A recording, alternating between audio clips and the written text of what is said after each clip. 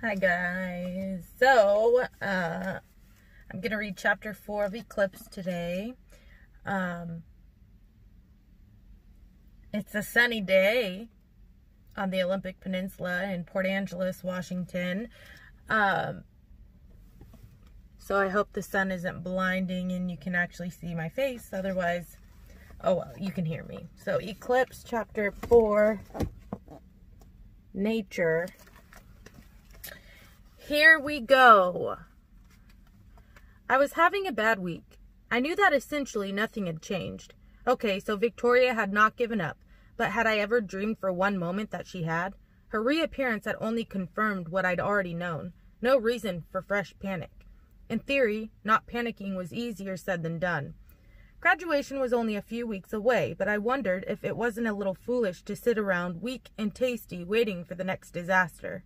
It seemed too dangerous to be human, just begging for trouble. Someone like me should, shouldn't be human. Someone with my luck ought to be a little less helpless.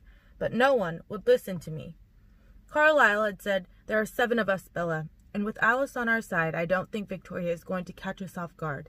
I think it's important for Charlie's sake that we stick with the original plan. Esme had said, We'd never allow anything to happen to you, sweetheart. You know that. Please don't be anxious and then she'd kissed my forehead. Emmett had said, I'm really glad Edward didn't kill you. Everything's so much more fun with you around. Rosalie had glared at him. Alice had rolled her eyes and said, I'm offended. You're not honestly worried about this, are you? If it's no big deal, then why did Edward drag me to Florida? I demanded. Haven't you noticed yet, Bella, that Edward is just the teeniest bit prone to overreaction? Jasper had silently erased all the panic and tension in my body with his curious talent of controlling emotional atmospheres. I'd felt it reassured and let them talk me out of my desperate pleading. Of course, that calm had worn off as soon as Edward and I had walked out of the room, so the consensus was that I was just supposed to forget that a deranged vampire was stalking me, intent on my death. Go about my business. I did try, and surprisingly, there were other things almost as stressful to dwell on besides my status on the endangered species list. Because Edward's response had been the most frustrating of them all. That's between you and Carlisle, he'd said. Of course, you know that I'm willing to make it between you and me at any time that you wish. You know my condition. And he had smiled angelically. Ugh, I did know his condition. Edward had promised that he would change me himself whenever I wanted, just as long as I was married to him first. Sometimes I wondered if he was only pretending that he couldn't read my mind. How else had he struck upon the one condition that I would have trouble accepting? The one condition that would slow me down. All in all, a very bad week, and today was the worst day in, in it. It was always a bad day when Edward was away. Alice had foreseen nothing out of the ordinary this weekend, and so I had insisted that he take the opportunity to go hunting with his brothers. I knew how it bored him to hunt the easy, nearby prey. Go have fun, I told him. Bag a few mountain lions for me. I would never admit to him how hard it was for me when he was gone, how it brought back the abandonment nightmares. If he knew that, it would make him feel horrible and he would be afraid to ever leave me, even for the most necessary reasons. It had been like that in the beginning, when he'd first returned from Italy. His golden eyes had turned black, and he'd suffered from his thirst more than it was already necessary that he suffer. So I put on a brave face, and all but kicked him out the door whenever Emmett and Jasper wanted to go. I think he saw through me, though, a little. This morning, there had been a note left on my pillow. I'll be back so soon you won't have time to miss me. Look after my heart. I've left it with you. So now I had a big empty Saturday with nothing but my morning shift at Newton's Olympic Outfitters to distract me, and of course the oh so comforting promise from Alice. I'm staying close to home to hunt. I'll only be 15 minutes away if you need me. I'll keep an eye out for any trouble. Translation Don't try anything funny just because Edward is gone. Alice was certainly just as capable of crippling my truck as Edward was. I tried to look on the bright side. After work, I had plans to help Angela with her announcement, so that would be a distraction. And Charlie was in an excellent mood due to Edward's absence, so I might as well enjoy that while it lasted. Alice would spend the night with me if I was pathetic enough to ask her to, and then tomorrow Edward would be home. I would survive. Not wanting to be ridiculously early for work, I ate my breakfast slowly, one Cheerio at a time. Then, when I'd washed the dishes, I arranged the magnets on the fridge into a perfect line. Maybe I was developing obsessive compulsive disorder. The last two magnets, round black utilitarian pieces that were my favorites because they could hold 10 sheets of paper to the fridge without breaking a sweat, did not want to cooperate with my fixation. Their polarities were reversed. Every time I tried to line the last one up, the other jumped out of place. For some reason, impending mania perhaps, this really irritated me. Why couldn't they just play nice? Stupid with stubbornness. I kept shoving them together as if I was expecting them to suddenly give up. I could have flipped one over, but that felt like losing. Finally, exasperated at myself more than the magnets, I pulled them from the fridge and held them together with two hands. It took a little effort. They were strong enough to put up a fight, but I forced them to coexist side by side. See, I said out loud, talking to inanimate objects, never a good sign. That's not so horrible, is it? I stood there like an idiot for a second, not quite able to admit that I wasn't having any lasting effect against scientific principles. Then, with a sigh, I put the magnets back on the fridge, a foot apart. There's no need to be inflexible, I muttered. It was still so early, but I decided I'd better get out of the house before the inanimate objects started talking back. When I got to Newton's, Mike was methodically drying, mopping the aisles while his mom arranged a new counter display. I caught them in the middle of an argument, unaware that I had arrived. But it's the only time that Tyler can go, Mike complained. You said after graduation. You're just going to have to wait, Mrs. Newton snapped. You and Tyler can think of something else to do. You are not going to Seattle until the police stop whatever it is that is going on there. I know Beth Crowley has told Tyler the same thing, so don't act like I'm the bad guy. Oh, good morning, Bella, she said when she caught sight of me, brightening her tone quickly. You're early. Karen Newton was the last person I'd think to ask for help in an outdoor sports equipment store. Her perfectly highlighted blonde hair was always smoothed into an elegant twist on the back of her neck. Her fingernails were polished by professionals, as were her toenails, visible through the strappy high heels that didn't resemble anything Newton's offered on the long row of hiking boots. Like traffic, I joked as I grabbed my hideous fluorescent orange vest out from under the counter. I was surprised that Mrs. Newton was as worked up about the Seattle thing as Charlie. I thought he was going to extremes. Well, uh, Mrs. Newton hesitated for a moment, playing uncomfortably with a stack of flyers she was arranging by the register. I stopped with one arm in my vest. I knew that look. When I let the Newtons know that I wouldn't be working here this summer, abandoning them in their busiest season in effect, they'd started training Kitty Marshall to take my place. They couldn't really afford both of us on the payroll at the same time, so when it looked like a slow day, I was going to call, Mrs. Newton continued. I don't think we're expecting a ton of business today. Mike and I can probably handle things. I'm sorry you got up and drove out. On a normal day, I would be ecstatic with this turn of events. Today, not so much. Okay, I sighed, my shoulders slumped. What was I going to do now? That's not fair, Mom, Mike said. If Bella wants to work. No, it's okay, Mrs. Newton, really. Mike, I, I've got finals to study for and stuff. I didn't want to be a source of familiar discord when they were already arguing. Thanks, Bella. Mike, you missed aisle four. Uh, um, Bella, do you mind throwing these flyers in a dumpster on the way out? I told the girl who left them here that I'd put them on the counter, but I really don't have the room. Sure, no problem. I put my vest away and then tucked the flyers under my arm and headed out into the misty rain. The dumpster was around the side of Newton's, next to where we employees were supposed to park. I shuffled along, kicking pebbles petulantly on my way. I was about to fling the stack of bright yellow papers into the trash when the heading printed in bold across the top caught my eye. One word in particular seized my attention. I clutched the papers in both hands as I stared at the picture beneath the caption. A lump rose in my throat. Save the Olympic wolf. Under the words, there was a detailed drawing of a wolf in front of a fir tree, its head thrown back in the act of baying at the moon. It was a disconcerting picture. Something about the wolf's plaintive posture made him look forlorn, like he was howling in grief. And then I was running to my truck, the flyer still locked in my grip. Fifteen minutes, that's all I had. But it should be long enough. It was only fifteen minutes till La Push, and surely I would cross the boundary line in a few minutes before I hit the town. My truck roared to life without any difficulty. Alice couldn't have seen me doing this because I hadn't been planning it. I snap a snap decision, that was the key. And as long as I moved fast enough, I should be able to capitalize on it. I'd thrown the damp flyers in my haste, and they were scattered in a bright mess across the passenger seat. A hundred bolded captions, a hundred dark howling wolves outlined against the yellow background. I barreled down the wet highway, turning the windshield wipers on high and ignoring the groan of the ancient engine. Fifty-five was the most I could coax out of my truck, and I prayed it would be enough. I had no clue where the boundary line was, but I began to feel safer as I passed the first houses outside La Push. This must be beyond where Alice was allowed to follow. I'd call her when I got to Angela's this afternoon, I reasoned, so that she'd know I was fine. There was no reason for her to get worked up. She didn't need to be mad at me. Edward would be angry enough for two when he got back. My truck was positively wheezing by the time it grated to a stop in front of the familiar faded red house. The lump came back to my throat as I stared at the little place that had once been my refuge. It had been so long since I'd been here. Before I could cut the engine, Jacob was standing in the door, his face blank with shock. In the sudden silence when the truck roar died, I heard him gasp, Bella? Hey, Jake. Bella, he yelled back, and the smile I'd been waiting for stretched across his face like the sun breaking free of the clouds. His teeth gleamed bright against his russet skin. I can't believe it.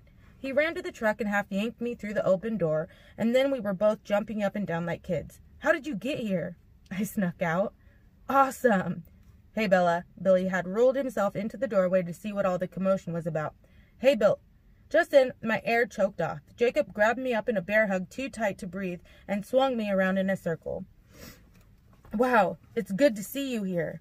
Can't breathe, I gasped. He laughed and put me down. Welcome back, Bella, he said, grinning, and the way he said the words made it sound like welcome home. We started walking, too keyed up to sit still in the house. Jacob was practically bouncing as he moved, and I had to remind him a few times that my legs weren't ten feet long. As we walked, I felt myself settling into another version of myself, the self I had been with Jacob. A little younger, a little less responsible. Someone who might, on occasion, do something really stupid for no good reason. Our exuberance lasted through the first few topics of conversation how we were doing, what we were up to, how long I had, and what had brought me here. When I hesita- hesitantly told him about the wolf flyer, his bellowing laugh echoed back from the trees. But then, as we ambled past the back of the store and shoved through the thick scrub that ringed the far edge of First Beach, we got to the hard parts. All too soon, we had to talk about the reasons behind our long separation, and I watched as the face of my friend hardened into the bitter mask that was already too familiar. So, what's the story anyway? Jacob asked me, kicking a piece of driftwood out of his way with too much force. It sailed over the sand and then clattered against the rocks. I mean, since the last time we. Well, before you know. He struggled for the words. He took a deep breath and tried again. What I'm asking is everything is just back to the way it was before he left. You forgave him for all of that? I took a deep breath. There was nothing to forgive. I wanted to skip past this part, the betrayals, the accusations, but I knew that we had to talk it through before we'd be able to move on to anything else. Jacob's face puckered up like he just licked a lemon. I wish Sam had taken a picture when he found you that night last September. It would be Exhibit A. Nobody's on trial. Maybe somebody should be. Not even you would blame him for leaving if you knew the reason why. He glared at me for a few seconds. Okay, he challenged acidly. Amaze me. His hostility was wearing on me, chafing against the raw. It hurt to have him angry with me. It reminded me of the bleak afternoon long ago when, under orders from Sam, he told me we couldn't be friends. I took a second to compose myself. Edward le- left me last fall because he didn't think I should be hanging out with vampires. He, thought it would be healthier for me if he left. Jacob did a double take. He had to scramble for a minute. Whatever he'd been planning to say, it clearly no longer applied. I was glad he didn't know the catalyst behind Edward's decision. I could only imagine what he'd think if he knew Jasper had tried to kill me. He came back, though, didn't he? Jacob muttered. Too bad he can't stick to a decision. If you remember, I went and got him. Jacob stared at me for a moment and then he backed off. His face relaxed and his voice was calmer when he spoke. That's true. So I never did get the story. What happened? I hesitated, biting my lip. Is it a secret? His voice took on a taunting edge. Are you not allowed to tell me? No, I snapped. It's just a really long story. Jacob smiled, arrogant, and turned to walk up the beach, expecting me to follow. It was no fun being with Jacob if he was going to act like this. I trailed behind him automatically, not sure if I shouldn't turn around and leave. I was going to have to face Alice, though, when I got home, and I supposed I wasn't in any rush. Jacob walked to a huge, familiar piece of driftwood, an entire tree, roots and all, bleached white and beached deep in the sand. It was our tree, in a way. Jacob sat down on the natural bench and patted the space next to him. I don't mind long stories. Is there any action? I rolled my eyes as I sat next to him. There is some action, I allowed. It wouldn't be real horror without action. Horror, I scoffed.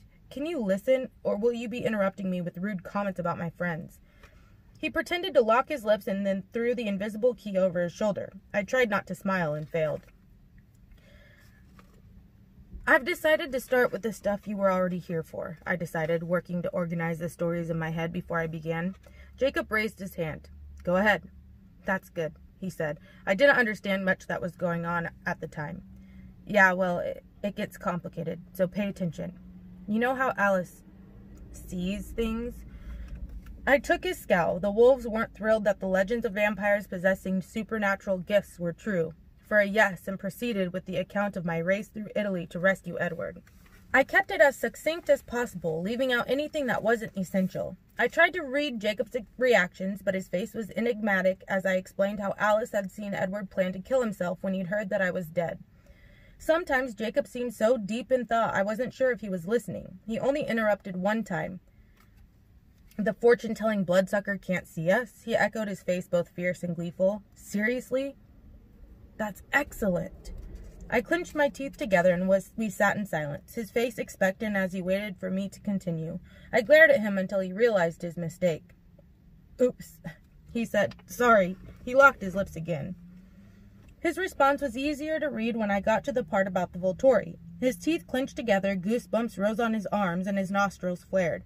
I didn't go into specifics. I just told him that Edward had talked us out of trouble without revealing the promise we'd had to make or the visit we were anticipating. Jacob didn't need to have my nightmares. Now, you know the whole story, I concluded, so it's your turn to talk.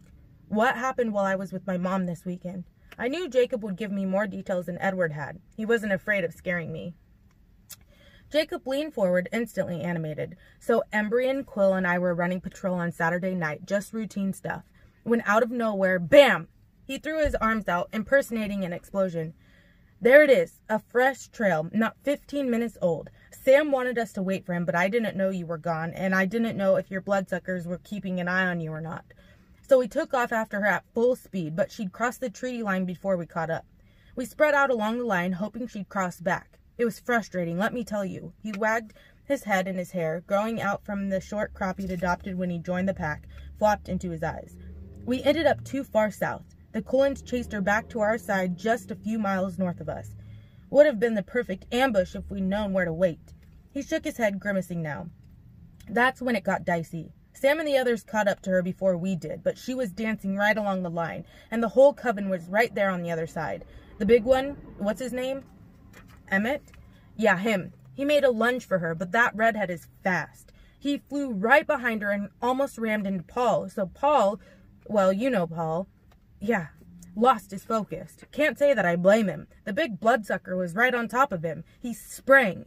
Hey, don't give me that look. The vampire was on our land.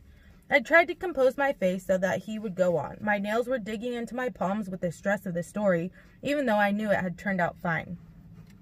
Anyway, Paul missed, and the big one got back on his side. But by then, the, uh, uh well, the, uh, blood blonde uh, jacob's expression was a comical mix of disgust and unwilling admiration as he tried to come up with a word to describe edward's sister rosalie.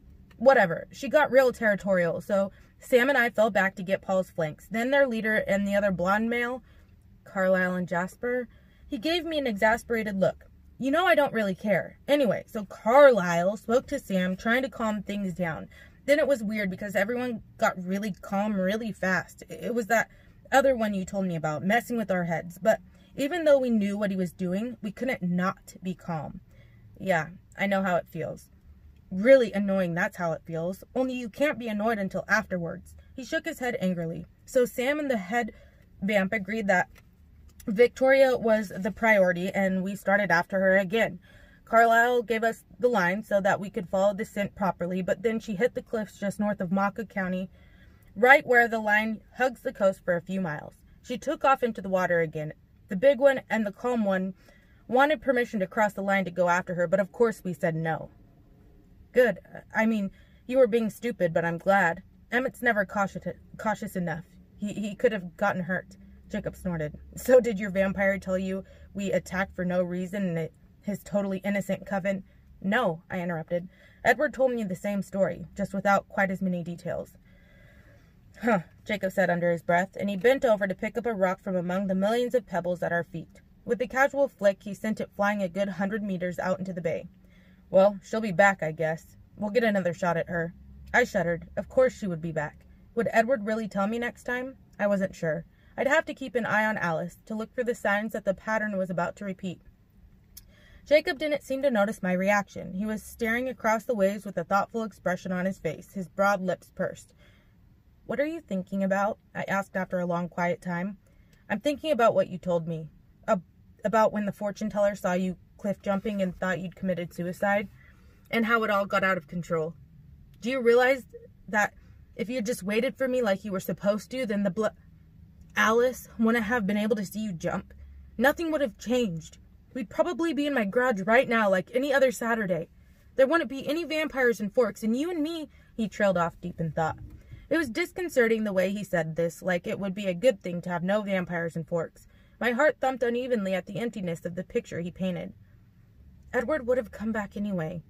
Are you sure about that? he asked belligerent again as soon as I spoke Edward's name. Being apart, it didn't work out so well for either of us. He started to say something, something angry from his expression, but he stopped himself, took a breath, and began again. Did you know Sam is mad at you? Me? It took me a second. Oh, I see. He thinks they would have stayed away if I wasn't here. No, that's not it. What's his problem then? Jacob leaned down to scoop up another rock. He turned it over and over in his fingers. His eyes were riveted on the black stone while he spoke in a low voice. When Sam saw how you were in the beginning. When Billy told them how Charlie worried when you didn't get better. And then when you started jumping off cliffs, I made a face. No one was ever going to let me forget that. Jacob's eyes flashed up to mine. He thought you were the one person in the world with as much reason to hate the Cullens as he does. Sam feels sort of betrayed that you would just let them back into your life like they never hurt you. I didn't believe for a second that Sam was the only one who felt this way and the acid in my voice now was for both of them. You can tell Sam to go right to. Look at that. Jacob interrupted me, pointing to an eagle in the act of plummeting down toward the ocean from an incredible height. It checked itself at the last minute, only its talons breaking the surface of the waves just for an instant. Then it flapped away, its wings straining against the load of the huge fish it had snagged. You see it everywhere, Jacob said, his voice suddenly distant. Nature taking its course. Hunter and prey. The endless cycle of life and death. I didn't understand the point of the nature lecture. I guessed that he was just trying to change the subject. But then he looked down at me with dark humor in his eyes. And yet, you don't see the fish trying to plant a kiss on the eagle. You never see that. He grinned a mocking smile. I grinned back tightly, through, though the acid taste was still in my mouth. Maybe the fish was trying, I suggested. It's hard to tell what a fish is thinking. Eagles are good looking birds, you know. Is that what it comes down to, his voice was abruptly sharper, good looks. Don't be stupid, Jacob. Is it the money then? he persisted. That's nice, I muttered, getting up from the tree. I'm flattered that you think so much of me. I turned my back on him and paced away. Ah, don't get mad. He was right behind me. He caught my wrist and spun me around. I'm serious. I'm trying to understand here, and I'm coming up blank. His eyebrows pushed together angrily, and his eyes were black in their deep shadow. I love him, not because he's beautiful or because he's rich. I spat the word at Jacob. I'd much rather he weren't either one. It would even out the gap between us just a little bit, because he'd still be the most loving and unselfish and brilliant and decent person I've ever met. Of course I love him. How hard is that to understand? It's impossible to understand. Please enlighten me then, Jacob. I let the sarcasm flow thick. What is a valid reason for someone to love someone else? Since apparently I'm doing it wrong. I think the best place to start would be to look within your own species. That usually works. Well, that just sucks, I snapped. I guess I'm stuck with Mike Newton after all. Jacob flinched back and bit his lip. I could see that my words had hurt him, but I was too mad to feel bad about that yet. He dropped my wrist and folded his arms across his chest, turning from me to glare toward the ocean. I'm human, he muttered, his voice almost inaudible. You're not as human as Mike, I continued ruthlessly. Do you still think that's the most important consideration? It's not the same thing. Jacob didn't look away from the gray waves. I didn't choose this. I laughed once in disbelief. Do you think Edward did? He didn't know what was happening to him any more than you did. He didn't exactly sign up for this. Jacob was shaking his head back and forth with a small, quick movement. You know, Jacob, you're awfully self righteous, considering that you're a werewolf and all. It's not the same, Jacob repeated, glowering at me. I don't see why not. You could be a bit more understanding about the Cullens. You have no idea how truly good they are. To the core, Jacob. He frowned more deeply. They shouldn't exist. Their existence goes be- against nature. I stared at him for a long moment with one eyebrow raised incredulously. It was a while before he noticed. What? Speaking of a natural, I hinted. Bella, he said, his voice low and different, aged. I realized that he sounded suddenly older than me, like a parent or a teacher. What I am was born in me. It's a part of who I am, who my family is, who we all are as a tribe. It's the reason why we're still here. Besides that, he looked down at me, his black eyes unreadable. I am still human. He picked up my hand and pressed it to his fever warm chest. Through his t shirt, I could feel the steady beating of his heart under my palm. Normal humans can't throw motorcycles around the way you can. He smiled, a faint half smile. Normal humans run away from monsters, Bella, and I never claimed to be normal, just human. Staying angry with Jacob was too much work. I started to smile as I pulled my hand away from his chest.